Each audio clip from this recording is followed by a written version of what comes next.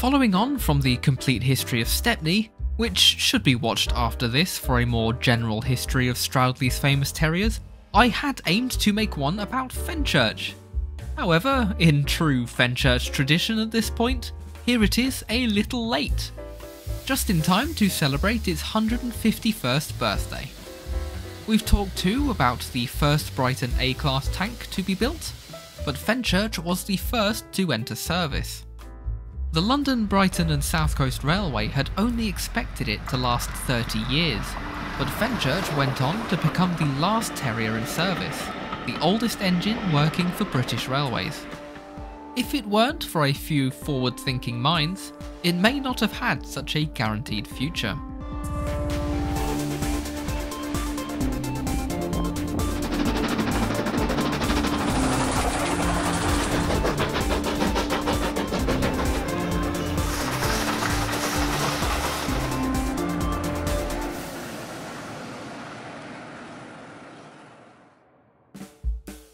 When the LBSCR needed a fast and lightweight engine to deal with the commuter lines of South London, William Stroudley's answer was the A-Class, which very quickly adopted the nickname Terriers.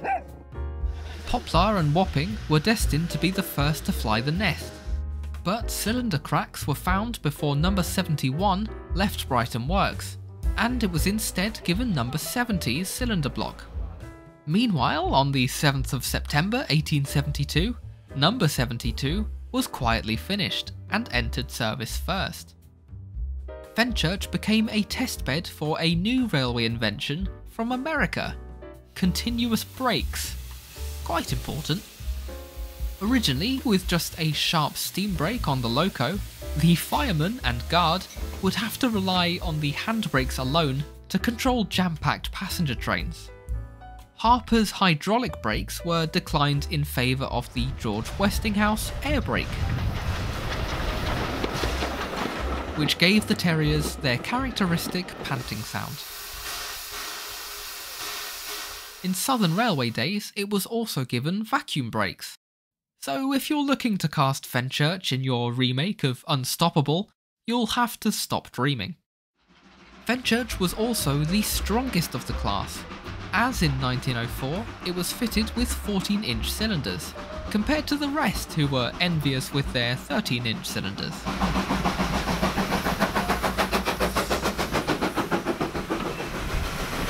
But that was all after the LBSCR felt that at age 26 it was getting too old to be useful. Sorry if that makes you feel old. After being so successful at their job that it had become too much for them to handle, several terriers were retired and sold to smaller companies. Fenchurch was the first to go, being bought in 1898 by the Newhaven Harbour Company, but keeping its original name and Stroudley colours. The Harbour Railway were so closely tied to the Brighton that it was more like a parent company, and for good reason. Newhaven was the LBSCR's own attempt at a cross-channel ferry port, complete with their own ships to Dieppe in France and a tramway network to serve them.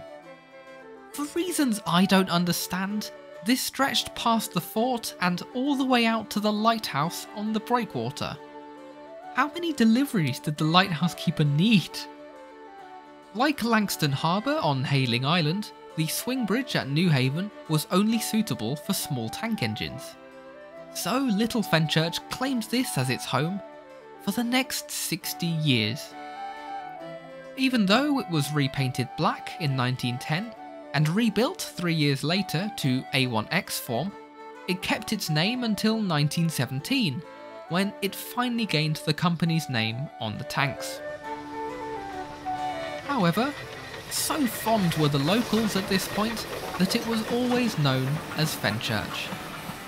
To the extent that a sign across the bridge stated that only Fenchurch and other terriers were permitted to cross.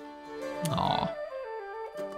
A typical day at the harbour would mean a morning of picking up trucks from the two stations and trundling along the road with Mr Avis the flagman in front. Dropping off goods along the quay at the various sidings, picking up empties, and being back on shed by early afternoon. What nice working hours. However, of course, during World War II the harbour was put under new strains. Other terriers came to help as 19,500 special munitions trains arrived during the war years, and the whole area was a prime target. Before all that though, the newly formed Southern took ownership of the Harbour Railway, and Fenchurch once again belonged to the big railway. Wearing goods black, instead of retaking its number 672, it was given Bramley's old number of B636 the following year, becoming 2636 in 1929.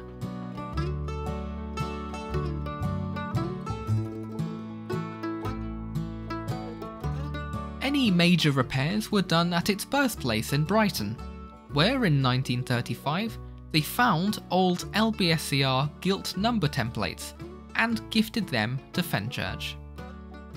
The BBC were hosting a radio programme at Newhaven in British Railways days, and they made a special mention for the Stroudley celebrity, now the oldest engine working on the network. The railway network, not the BBC. For the first time in half a century, BR let the engine run passenger trains at Eastbourne in 1952, and from then it was chosen for many specials and rail tours.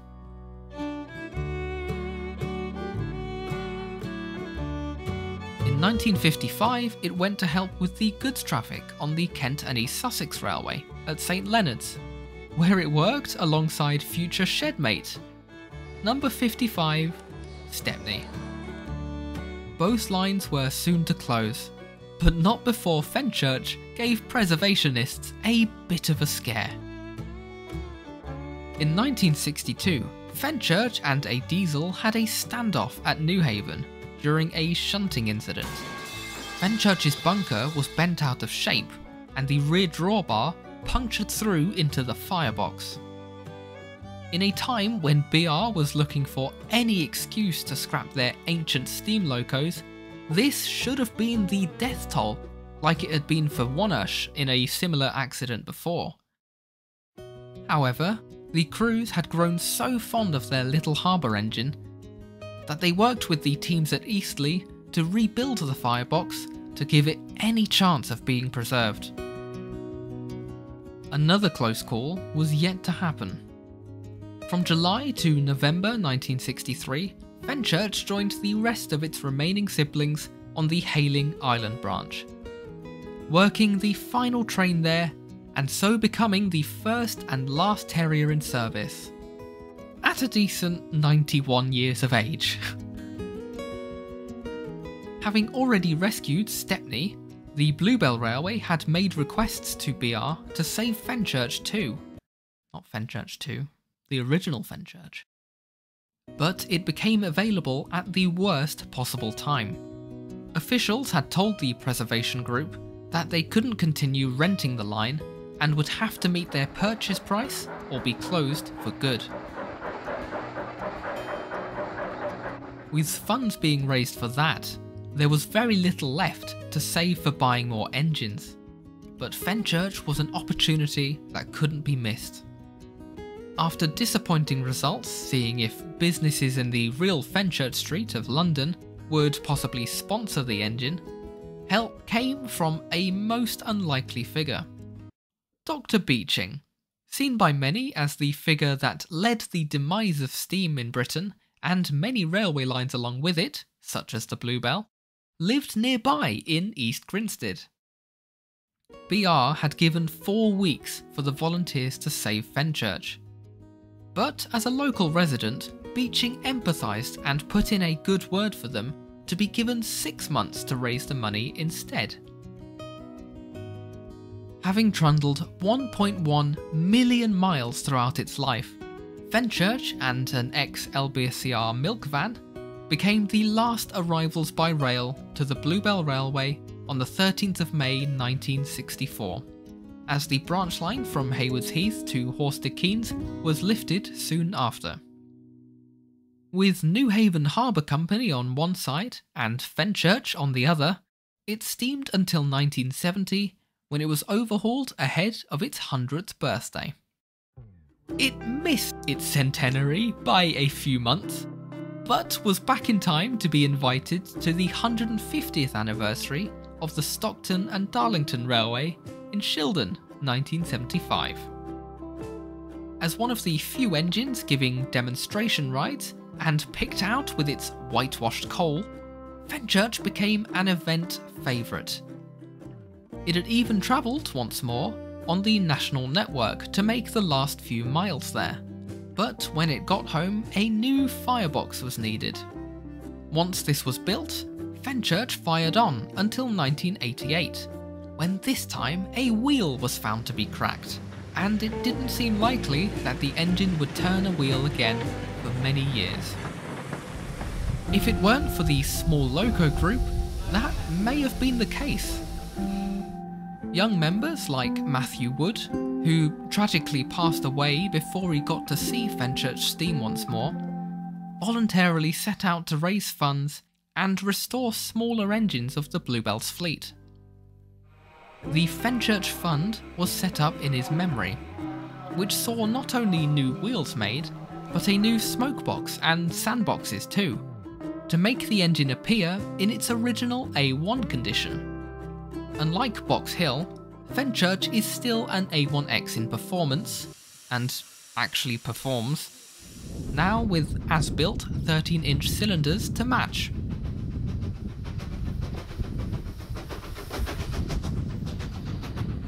When the Reverend W. Awdry visited the Bluebell and wrote Stepney the Bluebell engine into the railway series, Fenchurch hadn't arrived yet, so he never shared the stardom of becoming a Thomas character.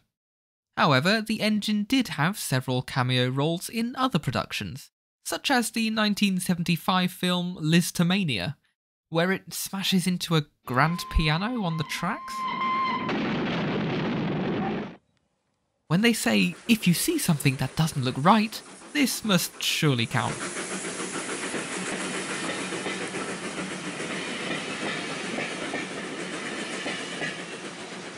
In 2001, it returned in Marsh Umber with the number 672, which it never carried in its career because it was already at Newhaven, but it's a nice what if. In 2022, it was restored for its 150th birthday, which, like its 100th birthday, it missed by a few months. I was honoured to have been asked by the railway to make a little animation for the occasion, and the workshop staff recreated it by giving Fenchurch some balloons to celebrate. Aww. Whilst it appears in a more authentic livery, its original Stroudley improved engine green,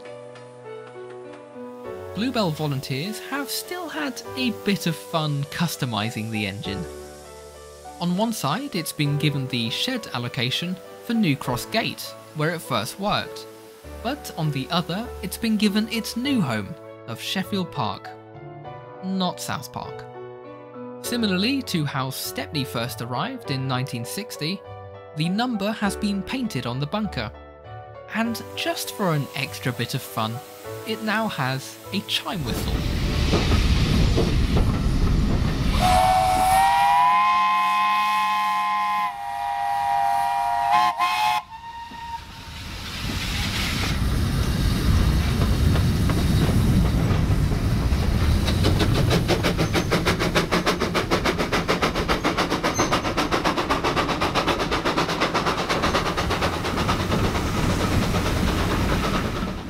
an engine that was only expected to last 30 years, at 151 and looking this good, it's doing okay for itself.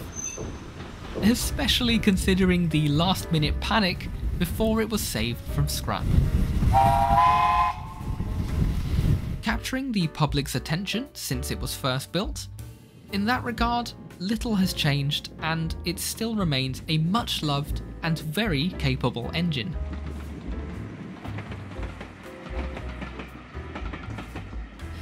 Especially when it comes to efficient fuel consumption. something that's making the Terriers very sought after little engines, once again in the modern day. I hope that after the wait you've enjoyed learning about Terrier 72 Fenchurch. In time, no doubt, I'll look into the histories of the other preserved terriers and beyond. And if you'd like to help support the cost of these videos, then consider pledging as a patron in the description, and you'll be the first to see my upcoming videos. There's also a playlist full of all of the guide rails we've done to date, so check that out as well.